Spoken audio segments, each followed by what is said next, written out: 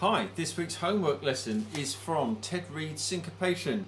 This is page 21, this is exercise 14 and 15. This is the five stroke ruff. We're going to play this with a metronome against a metronome setting of 80 beats a minute. It's going to sound like this. One, two, three, four. One, two, three, four. One, two, three, four. One, two, three, four. One, two, three, four. One, two, three, four. One, two, three, four. One, two, three, four. One, two, three, four.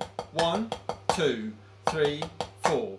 One, two, three, four. One, two, three, four. One, two, three, four.